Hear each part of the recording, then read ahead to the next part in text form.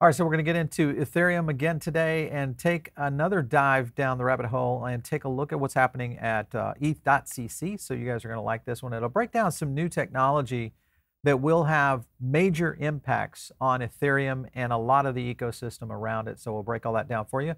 My name is Paul Barron. Welcome back to the Tech Path. If you guys are maybe looking at starting to get into crypto for the first time, one of the things that we always measure here is sentiment. Sentiment data is one of the key things that we look at so jump over here to the Crypto Power Index. Very easy. Just go over to our website. You can go over there through pbn3.com or Paul Barron Network and get into the Power Index, which drops into a ton of features, including 43 blockchain tokens that we track currently. We also do a full C, uh, CPI dashboard. We also do uh, a technical analysis, a lot of these tokens, and you get uh, multi uh, daily and weekly updates across all of those. Again, measuring sentiment on how markets are moving which can help you guys kind of front run the opportunity. Uh, so take a look at it, and we always leave a link down below if you guys want to jump into it. All right, couple things here I want to get to. First up is uh, a breaking topic, and that is coming over from, from Fidelity. This is coming from Crypto Intelligence. Fidelity Digital Assets, their Q2 report reveals a very ultra, ultra bullish outlook for ETH in general. Couple of things here. Uh, this, of course, is their signals report. This was July 18th, expressing a positive outlook for ETH in both short and long term. First report highlights network uh, higher burn rate compared to coin issuance, which has resulted in a net supply decrease. We talk about the deflation of Ethereum all the time here.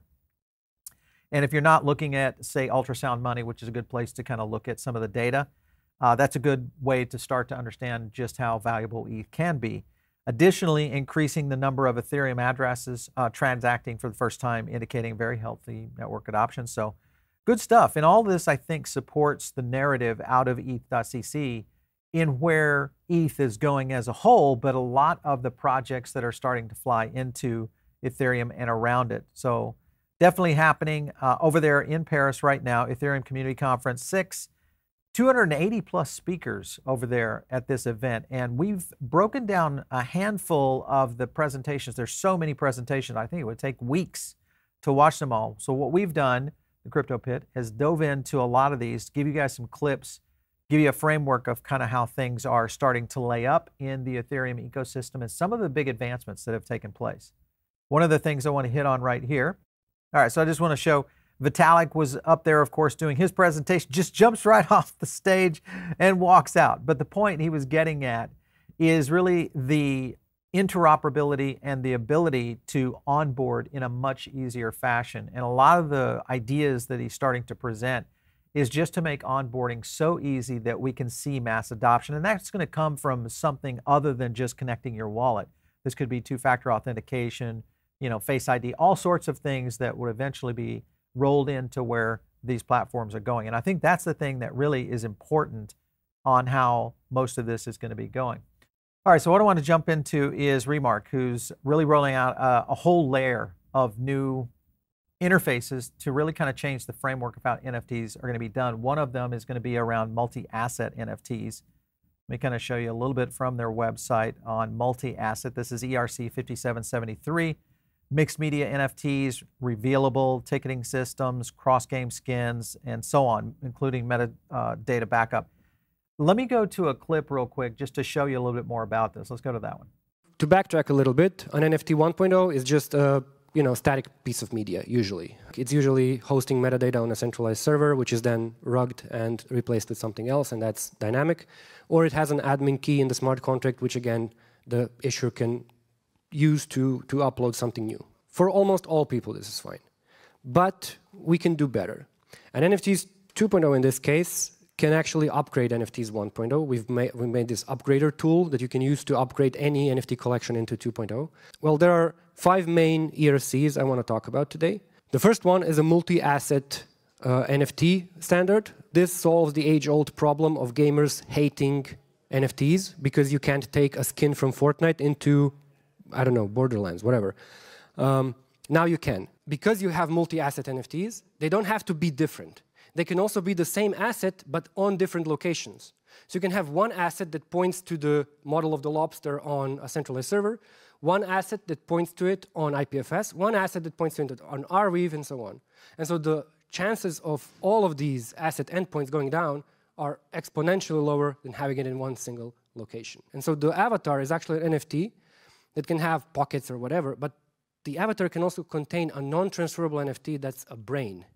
The brain itself can have skill slots in it, and the skills you collect in the game can also be non-transferable NFTs. If you want to build a fully on-chain, finally a true Web3 game, now this is very possible, very easy to do with this stuff. Of course, it's applicable to many more media types. Like you can have a collaborative music composition where a music sheet is completely empty but has slots for vocals, bass guitar, lead guitar, drums, whatever. It's traded and distribute royalties to everybody who contributed based on their tracks in this NFT. If I'm the owner of an NFT, the minter of the collection cannot just replace my art, but he can propose it, and I have to accept it. The owner of a multi-asset NFT can always pick the priority asset to show in marketplaces so that if you want to sell it on a legacy marketplace like OpenSea, you can select which one has the priority. All right, so you can see that's a really big advancement on how NFTs will be utilized, but maybe even more so on the strategies that will play into this, not only in the gaming, but also in the entertainment field, maybe even in, in different applications within business. So quite a bit there. All right, so let's jump to an example of multi-asset NFTs. Here's Singular kind of showing a little bit about how you could do this. If you click into the different variations of the assets, you can kind of see the different models that can be used, all this being one NFT. All right, so let's go into the second proposal, which is nestable and equipable NFTs. Listen in. So 6059 allows you to put NFTs inside of other NFTs. 6220 allows you to define slots with which some of these assets are compatible. So the lobster can have a head slot, which can equip one of these hats. Now, what happens if our primary asset is the voxelated lobster? The art style of the hat doesn't really match it anymore. Since every NFT, based on these standards, is actually following the same rules, this means that these hat NFTs are also multi-asset NFTs, which means that the hat can have an alternative asset for itself, which is a, itself a voxelated version. What happens if a new collection comes out that is completely unrelated, a stained glass window collection, and that one really can't wear hats, right? Again, we add a new asset to the hat, a stained glass version of the hat. So we'll tell the stained glass version of the hat asset, you are compatible with this slot in, the, in this collection. And so now you actually can put the hat into this slot. So what did you achieve by this? Today, when you launch an NFT collection, you are attacking other collections, collectors, traders, users, because you want them. So by definition, you want their attention, you want to take them from the other collections. Here, no. Here, everybody grows together. The more stuff is launched, the more it's compatible with everything else. And when I see a cool stained glass hat, I will ask this person, where'd you get it? And they will tell me. All right, so again, more use cases for NFTs itself. Uh, if you look at Singular, you can kind of see a little bit about where this is going. The equipable and also nestable inside an NFTs. I know this gets into a lot of detail around what this might mean. Use case is going to be very creative uh, around how companies are using this, but also maybe on strategies of how creators actually build NFTs in the future. So a lot of that I think is going to change the framework of where Web3 will go, obviously, we'll see this in gaming first. I want to go over to our next one, which is the Soulbound reputation NFTs. Listen in. And so this extends into the 6454 ERC. Essentially, you can lock an NFT inside another NFT, but the parent can still be transferable. And this is especially useful for reputation. Let's say I did some tasks. I got three reputations and two equipables. Now I can equip these hats onto my lobster and show off that I've done this task. But also I have this reputation in my lobster that I can never take away. Now the other guy comes in with his stained glass avatar, and he does another set of tasks. Really cool thing about this is nobody in this entire system has to know each other. They're all strangers. They never collaborated. This is all mutually compatible, which leads to the ability to trade between completely unrelated collections, again, growing the pie for everybody. So you can have categories of work you did for a project, and your reputation can grow in that category. Therefore, your vote in that category will be stronger. Matters of uh, governance that require dev voting power will be skewed towards Bob because he has more experience in it, and his vote will be more powerful. All right, so there again, more explanation on what this simply means is you're going to have elements in there that will be linked forever to a particular NFT. Again, this could play into other use cases. The example right here on Singular is, you know, kind of the aspect of this NFT, which also has this one right here, Snake Soldiers Element Gem. Um, but again, this will be something that I think will start to change some of the strategies of how NFTs are actually done. Again, from the creator side of things. So let's take a look at this next proposal. Uh, first of all, let's take a look at when this is going to launch. Let's listen in. Is coming, it's on the way. We've just launched on Ethereum last night or the night before. So it's still kind of experimental. We've been on Moonbeam up until now, and Polygon is coming next week, and other EVMs very, very soon. Whatever you launch on it will be visible on legacy marketplaces. So OpenSea will be able to show this, and other marketplaces will be able to show this. We opted not to take the iframe route on purpose, which many projects do, where when they launch on OpenSea and so on, they will usually embed an iframe um, to load their asset, and this makes them look dynamic. But the iframe is hosted on a centralized server. Nothing about this is centralized. Anybody can take this and run with it. Anybody can build on top of it, and it's fully decentralized. This NFT 2.0 functionality has never been really hard to build, but it's hard to build it in a way that it's forever backwards and forwards compatible. All right, so as you can see here, available now on Ethereum, Moonbeam, Polygon coming soon, uh, zkSync, and even Arbitrum. So this is going to roll out pretty quickly. I think, and eh, again, just more advancements on the power of Ethereum in general, which only builds to the ecosystem, starts to add a lot to it. Uh, last up, this just kind of shows you some of the emotes that are evolved within this, and it kind of shows you some of the aspects. Here's the multi-asset NFTs, nestable, composables, uh, and then of course soulbounds and emotable NFTs right there, which is also coming soon uh, on ERC 6381. All right, so let's take a look at emotes. Let's listen to this clip. On-chain reactions, like you would expect when opening an emoji keyboard, can be sent to any NFT. The audience of your NFT will thus be able to interact with your NFT. The more interactions you can generate, the more attention you will be drawing to your NFT. Holders can see what wallets interact with their NFT and when. Getting large or famous wallets to send an emoji to your NFT like Jay-Z, Kanye, or Tom Hardy could drastically enhance the NFT ownership experience. This has the possibility to add more value and notoriety to your NFTs. Background of your NFT could change to a night background enough moon emojis are sent to it. Again, the marketing and community engagement applications here for NFTs are endless. So as you can see, lots of new uh, proposals, a lot of new technology kind of rolling into the ETH ecosystem.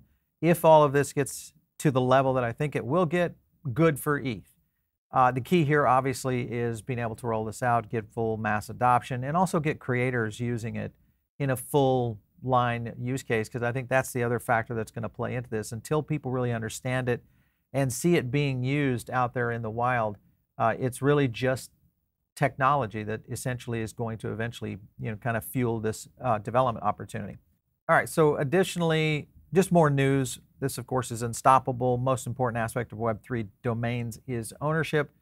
Totally agree with that. One of the things they've done is their, you know, this ability now to where you can manage your your .eth ENS. So now they've got it to where you can actually do auto renewal, which is a good thing, good feature there. The big thing here, of course, is some big news coming in from Unstoppable Sandy Carter talking a chance to win some credits or towards Unstoppable Domain. But again, big news coming out. Love to hear and see what that's going to actually be. The two announcements, the marketplace announcement, people are loving because they're looking for utility for their domain. This enables them to go out there and find all the great things that are happening in the space. And then, secondly, of course, the announcement of .eth, uh, making the Web3 community much more inclusive. So, more later. I'll write some in my blog. I'm just so busy right now, I haven't had time, but I wanted to make sure I gave you guys a quick update. All right, so we've had Todd McFarlane on our show before, kind of breaking down. Here's some examples of potentials of what this might look like. I want to jump to a couple of clips from him. Um, let's go to our first clip from McFarlane.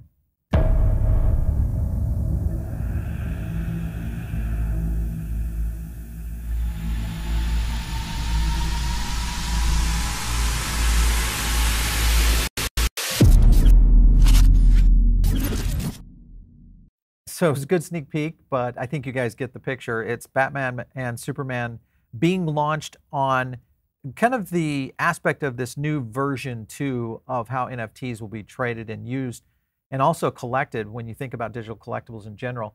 This may be the one NFT digital collectible that I would hold. And when I look at other platforms out there, some of those have you know struggled. This one, of course, could be a, a big winner. So I'm I'm very excited about seeing this. We'll see how it plays out.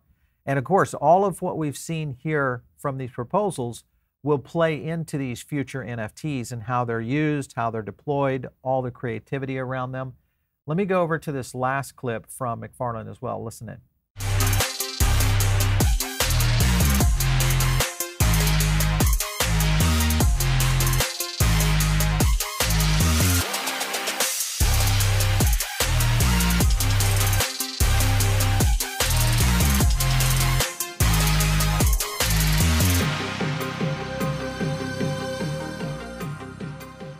Right, so McFarlane being one of the few projects out there that I feel like are doing it right.